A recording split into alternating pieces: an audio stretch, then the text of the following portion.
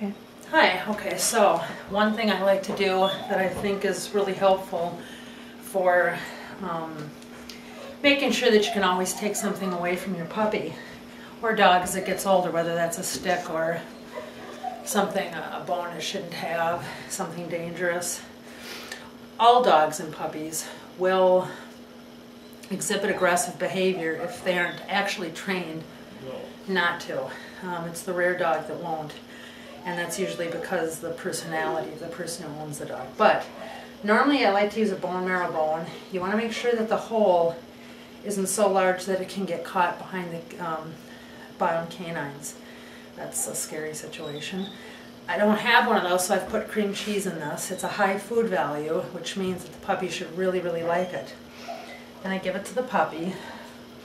And I usually like the puppy laying down so it kind of takes ownership of it. And then I don't touch the puppy. I try to keep it in one spot though. Get back here. Let's just lay down and chew it.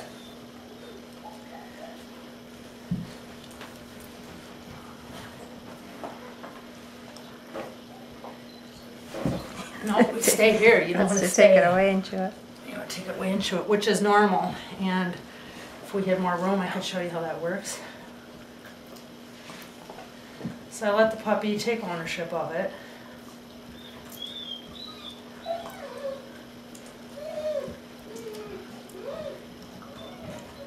Usually only takes a few seconds. And then what I do is, you want to protect your hands. Puppies can bite, and they bite really hard. Always have a collar on the puppy. I grab the collar, and I hold it, and I start pulling up.